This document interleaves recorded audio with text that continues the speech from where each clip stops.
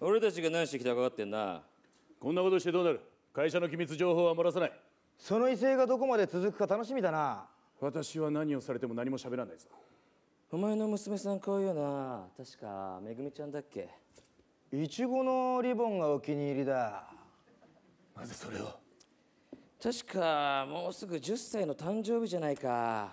悲しい誕生日にならねえといいな。頼む娘には手を出さないでくれ。頼む。確か新宿第三小学校クラスは4年3組。花に水をやる係だ。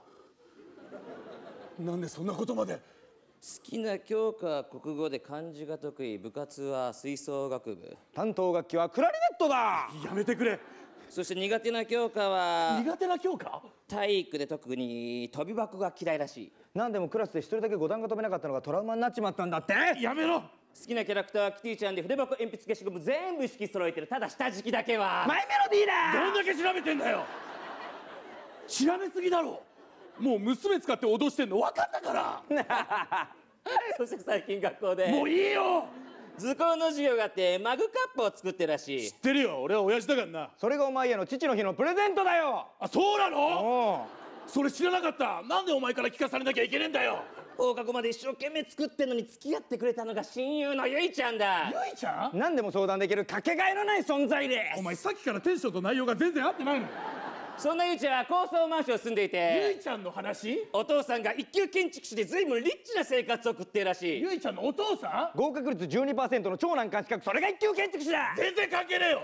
もう資格の情報じゃねえかよ。そんなゆいちゃんのお母さんはゆいちゃんのお母さんも？最近近所にカフェをオープンしたらしい。だからなんだよ。何でも体に優しいオーガニック料理が看板なんだって？どうでもいいよ。どうでもいいって。そしてその店によく通ってんのが隣の家に住んでる健太君のお父さんだ。さらに関係ないやつが出てきた。おい娘の話はどこ行った？そんなゆいちゃんのお母さんと健太君のお父さんは営業時間外に店の外で会ってんのをよく目撃されてるらしい。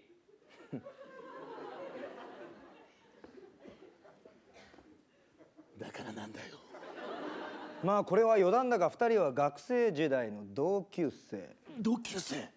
しかも恋人同士。恋人だしだが急な親の転勤でお互い別れを告げることができぬまま離れ離れに。離れ離れそしてお互い時は経ち時は経ちそれぞれ別の人と恋をして家庭を持ち子供が生まれまた別の幸せを手にした。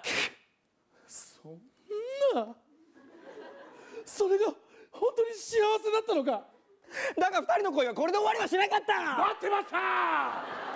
お互いの子供同士がまさかの同級生。子供同士も？しかも35年ローンで買った映画隣同士。来た！意識し合う2人。蘇る恋心。壊れゆく理性思いが抑えきれなくなったある日。ある日その話の続きは？続きは？お前が情報を話してからだ。そういう脅しか。新しいまさか近所でそんなことが起きてただなんて。でも情報を話すわけにはいかない。いかないんだ。なかなかしぶとい野郎だな。じゃあもう少しだけ情報を教えてやろうか。いいんですか？ちなみにそんな健太君のお母さんは近所でピアノ教室を営んでいる。あそれはどうでもいい。俺は二人の不倫関係が知りたいんだ。そのピアノ教室はゆいちゃんのお母さんがやってるカフェの隣だ。カフェの隣ちょっと待って。もう少し前から丁寧に説明してくれ。下敷きはマイメロディーだ。戻りすぎ戻りすぎ。もういろんなやつが出てきて頭がこんがらがっている。そして今までの流れがこれだ。相関図？わかりやすい。最初にこれ見せてもらいたかった。ちょっと待って。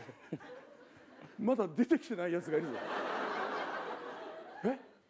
優しい留学生。アンドリュー？アンドリューのことがそんなに気になるか？当たり前だろ。アンドリューはこの中に入ってどういう風になるのか。それは気になる。に決まるあーいただ。サンジャン情報話せ急にシンプルな脅し。でも情報を話すわけにはいかない。いかないんだ。なかなかしぶとい野郎だ。ああもしもし。ああ目の前に今斎藤いるぞ。あおいそれマジか。なるほどな。おいおい斎藤お前にもう一つだけとんでもない情報を教えてやろうか。なんだななんだなんだ。俺たちが欲しい情報を握ってるのはお前ではありませんでした。すいませんでした。ふざけんな